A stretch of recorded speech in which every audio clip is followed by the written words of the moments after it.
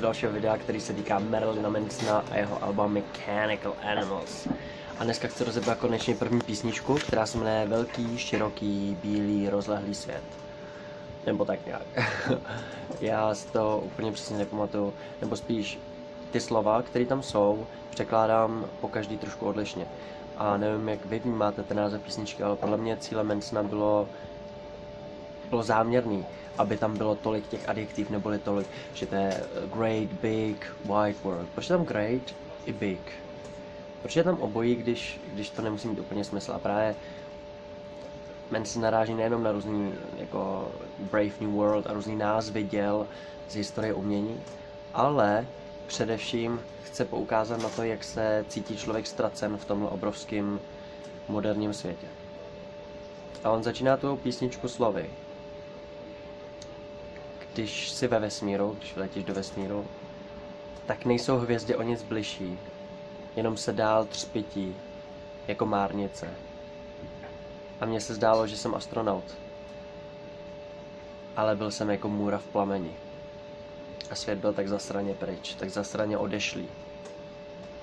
Co tím Manson vlastně chce říct? On vypráví pohled postavy, jakési Alfy, pokud jste sledovali ty minulý videa, která stejně jako my se v mládí cítí, a v podstatě v tom vývojovém období, cítí ztracena. A ta alfa naříká nad tím, co se s tím světem stalo. A připodobňuje to k různým věcem, jako třeba k tomu, že se cítila jako astronaut. Pryč od světa. Ale zároveň se cítila jako kdyby byla můra v plameni. Protože můra vždycky hledá svůj plamen, že letí někam, ale zabíjí to jako Ikara. A to na začátku, že když se přiblížíte ke hvězdám, když vy, vyjdete do vesmíru, tak zjistíte, že hvězdy jsou furt strašně daleko. A furt se stejně třpití, chladně. Všechno, co se třpití, je chladné, říká ještě v jedné další písni. A podle mě tím poukazuje na několik různých věcí. Za prvé na ten pocit nedosažitelnosti těch hvězd a Boha a všech tuhle těch věcí, který prostě člověk tohle to musí cítit, když vidí hvězdy nad sebou. A na druhou stranu samozřejmě tu mytologii těch superhvězd, těch celebrit. Že když se dostaneš do světa těch celebrit, těch hvězd, tak zjistíš, že jsou to všechno mrtvé hvězdy a že jsou chladní. A tohle to všechno je skryto vlastně v té v té písni, která dále pokračuje. Právě tím, že svět je pry, pryč, je odešlý, je prostě zničený. A co tím myslí? A on pak říká, já nejsem připojen takým, nějakou zástrčkou k tomu vašemu světu. Nic tu neléčí, nic tu neroste co ti myslí, tak očividně na naší planetě ještě něco roste. Ale on chce poukázat, že tato planeta a to, do jaké společnosti jsme se nějak dostali díky digitalizaci, pokud nenajdeme nějaký lepší smysl člověka a nenajdeme v sobě něco nového, tak se lidé tak nějak ztrácejí. A ztrácejí schopnost mezilidských kontaktů, zvlášť v těch obrovských městech, v těch milionových městech. A Manson tuhle myšlenku ještě dál propracovává tím, že v podstatě připodobňuje tenhle svět k tomu, že je to velký, bílý, rozlehlý svět, kterýmu jsme odčerpali všechny jeho barvy. Všechno to, co bylo zajímavé, ojedinělé, tak to bylo, nebo bude, protože je to antiutopie o tom, co se může stát v budoucnosti, bude osekáno. Manson straší, dá se říct, před společností, kde by lidé byli prostě už plozeni geneticky dopředu určeni, aby nemohli se vymanit z toho systému, aby prostě byli všichni stejní, stejně nadějní, jak to říká jeden český zpěvák v písničce. A tohle finalizuje v podstatě v té celé písni, která se neustále dál a dál točí ohledně toho, že peklo je studené ve skutečnosti, že je tam hrozná zima. A že se modlíme, že se lidé modlí jako hmyz. Co tě myslí? Insects, tam říká. A podle mě poukazuje na to trošku na kudlanku nábožnou, která vypadá, že se modlí a přitom sežere svého partnera při páření. Taková černá vdova skoro.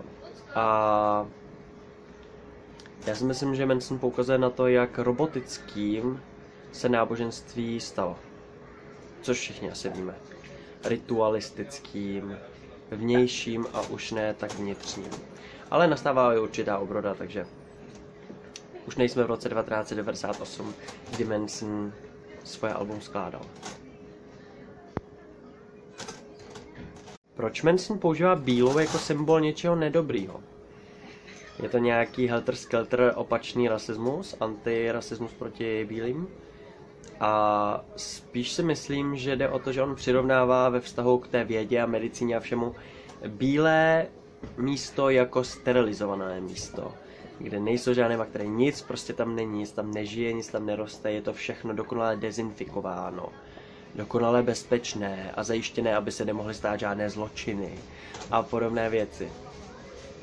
Taková satanská vize diktatury. Manson na svém albu Mechanical Animals pojednává docela dost o tématu lásky, což na Antikristovi zas tak jakoby silně nebylo. Najednou je tady skutečná láska mezi, nevím jestli říct mužem a ženou, spíš tvorem a tvorem. a tuhle dva tvorové prochází určitými fázemi. A na začátku ta zklamaná alfa z celého toho světa a života říká, v té první písničce teda stále, a kdysi jsme milovali sebe, kdysi jsme milovali i druhé.